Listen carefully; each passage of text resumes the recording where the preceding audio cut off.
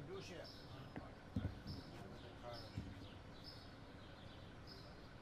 Aici între torbe, para più poate torbe, nu? Și acolo de